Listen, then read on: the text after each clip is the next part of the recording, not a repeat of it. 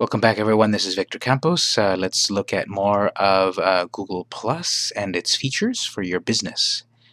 So uh, actually before I show the next thing that I wanted to, I noticed that I've got at the top here some more notifications. Now remember the last video I had uh, I had us go to a community and then uh, post some content to a community. The point of that was to tap into a potential captive audience. So it may have paid off. I haven't checked these yet, so hopefully they're safe for work, but this is the nature of a public medium. So I've got two notifications. I will click.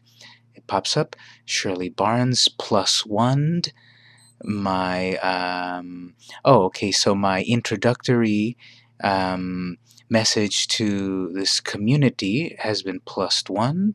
I'll look at that in detail. And then my cakes uh, request, my join to my request to join this community has been accepted. So now I'm a member there. I'll I'll explore that in a moment. But I want to see Shirley Barnes' message here. So uh, this is in the baking community in the introduce yourself and it's got a plus one so I can uh, click on the time of the particular post so then it'll focus on it'll focus on um, that particular post and whatever activity happens uh, will be listed here.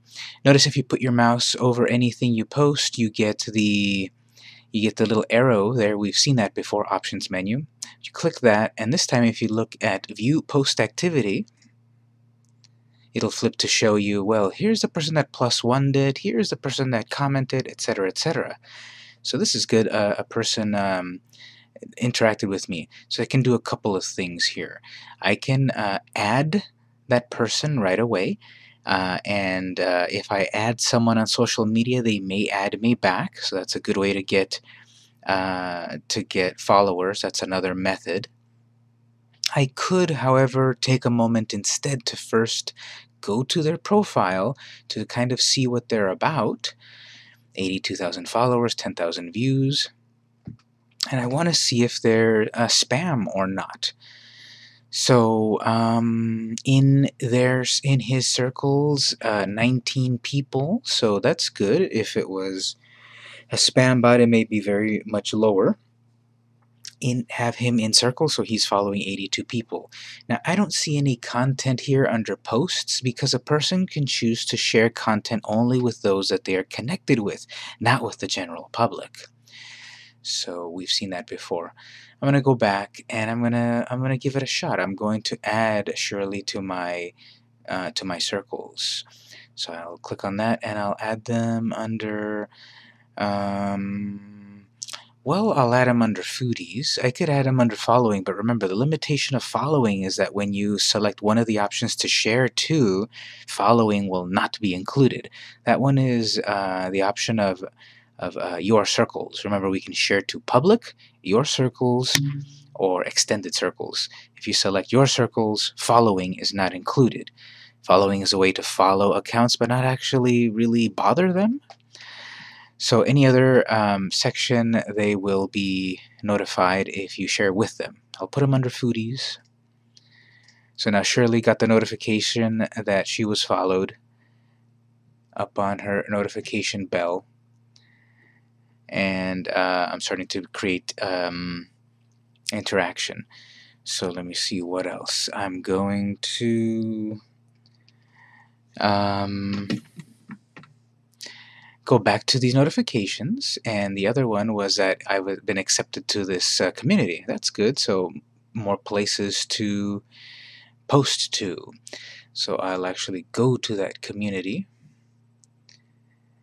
Uh, remember is 906 members about baked goods and all of that. Now you may see a few things popping up here and there um, for example, when you when I get to this community screen, you'll be notified of new posts. Click here to change your settings. Let's take a moment to look at the settings for posts. I'm sorry, the settings for communities. So uh, this community has a little options gear here. Click on that. Uh, if I no longer wish to be affiliated with a community, I can leave it no problem. I can report it for abuse. I can share it. If I select to share, I'm going to share this on my own uh, timeline so that other people can see it. Um, show posts in home screen uh, or home stream. So when someone posts something new to this community, I will see it on my home screen. And usually I do. But if it's a lot of content, I can change the amount right here from more, standard, or fewer. So it's a very if it's a very talkative community, I can say show me fewer posts. I don't know what algorithm Google Plus uh, uses to determine what that actually means, but you can change it there pretty easily. All right, so this section or this community um, has the sections disk use, cakes, rolls, cookies, other sweets, events. Um, so if I wanted to post something to one of these communities, I could easily post there. I think this means discuss.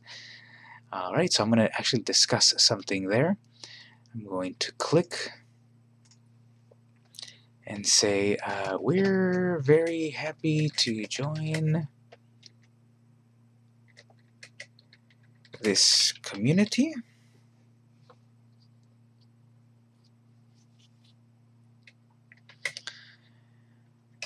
Our favorite baked good is a pecan pie.